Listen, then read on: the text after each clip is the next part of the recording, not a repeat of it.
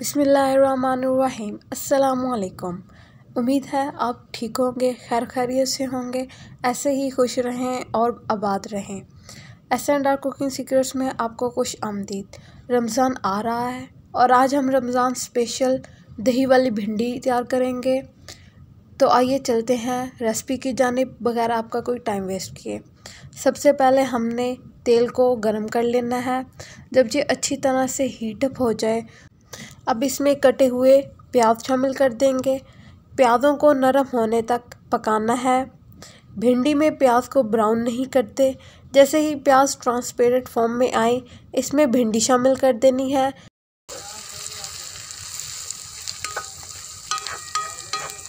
अपनी भिंडी को खूबसूरत अंदाज में काट लिया था। हमेशा भिंडी को काटने से पहले धोया जाता है।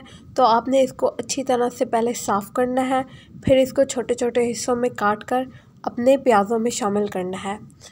शुरुआत में आपको भिंडी लेसदार लगेगी। जैसे जैसे आप इसको पकाते जाएँगे, इसकी लेस नेचर ख़त्म होती जाएगी। कम अज़ कम चौदह मिनट के लिए भिंडी को पकाएँगे। सब्र से काम लेना है, थोड़ा टफ स्टेप है, आपको जल्दबाजी नहीं करनी।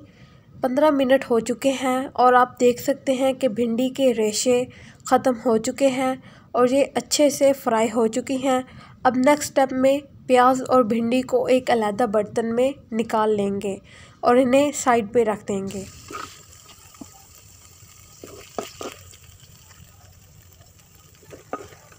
इसी पैन में सेम ऑयल में अपने कटे हुए टमाटर शामिल कर देंगे।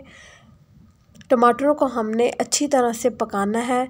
जब ये इस फॉर्म में आ जाएँ तो हमने अब इसमें अपने मिसाले डालने हैं, जो कि हैं एक चम्मच नमक, आधा चम्मच लाल मिर्ची का पाउडर और आधा ही चम्मच हल्दी का।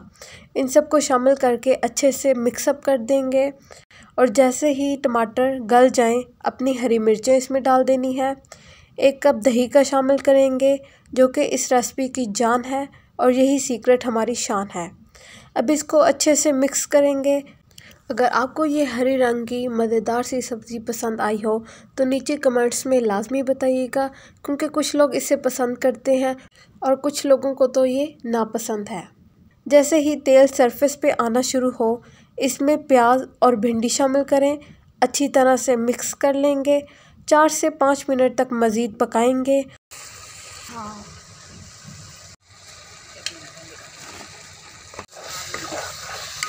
और आपकी दही वाली भिंडी तैयार है। जैसे कि आप देख सकते हैं कि ये कितनी ही मज़ेदार लग रही है। सारी लेस इसकी ख़त्म हो चुकी है। अगर आपको हमारी रेसिपी पसंद आई हो तो वीडियो को लाइक करें, शेयर करें और कमेंट करना मत भूलिएगा। चैनल को जाते जाते सब्सक्राइब कर दें, बेल आइकन के बटन को प्रेस कर दें ताकि आपको हमारी वीडियोस बर वक्त हासिल हों। ऐसी और मज़ेदार वीडियोस के लिए हमारे चैनल को लाजमी विज़िट करें। अब हमें दें इजाज़त खुशियाँ बांटें और खुश रहें फ़ी अमान